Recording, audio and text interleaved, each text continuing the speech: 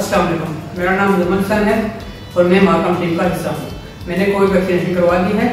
आपने करवाई है? अगर नहीं करवाई तो इस चौदह अगस्त को अपने और अपनी फैमिली को कोविड वैक्सीन करवाएँ और पाकिस्तान को एक महफूज मुल्क बनाएँ।